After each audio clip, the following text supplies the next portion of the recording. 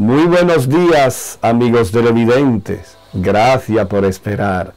Estamos transmitiendo por Creación TV.icono para YouTube acupuntura.severino. La Academia Superior de Medicina Tradicional China, ASMTC, les informa que los cursos que estamos dando a nivel profesional. Enviamos siete libros a través de este medio y dos certificados a través de este medio. La clase la damos tal como usted me está viendo ahora en el canal, ¿eh?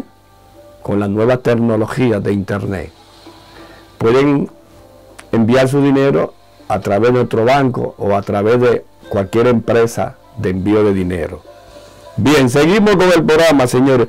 Una persona de Inglaterra dice que un familiar suyo está sufriendo de anesitis Vaya por Dios. Bueno, la necesito diciendo como una inflamación de ovario y trompa de falopia. Cuando se inflama eso. Entonces vamos a ver en qué posición están los riñones a nivel de antioxidante y oxidado. Hemos dicho anteriormente, si nosotros tenemos unos riñones, unos riñones muy oxidados,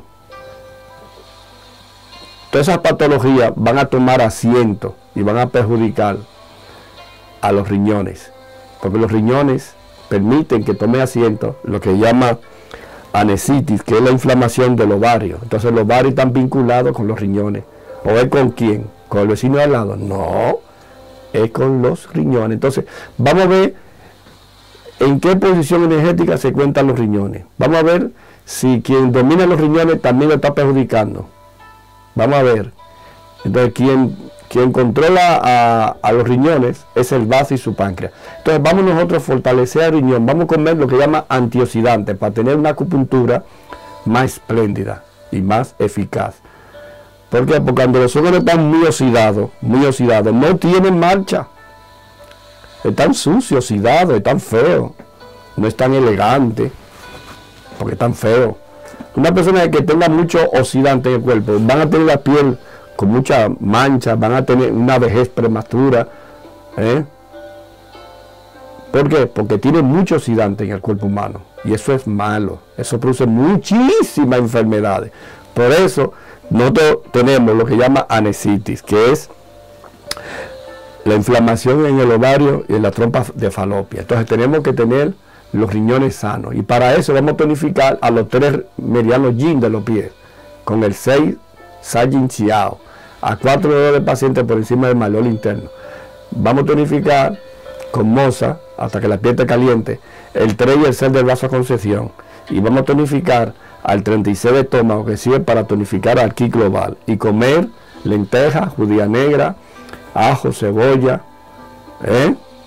Frutos secos, vitamina C, vitamina E, para colaborar con la patología.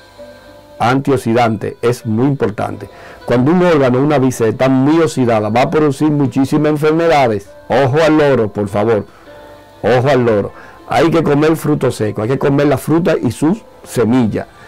La, la uva, comerse la semilla bien masticada. No tiene dientes, coge un martillo, coge una licuadora, un pibe, algo, muévase, no se quede con los brazos cruzados, la pera, la guayaba, el chocolate negro, ¿eh? la fambruesa, ¿eh? el, el, espárrago. Hay que comer antioxidante, fruto seco, todo lo que es fruto seco, comer. Señor, vamos a una pequeña pausa porque el tiempo es cortito. En tres minutos regresamos. Quédense con nosotros, que hemos venido para estar con ustedes.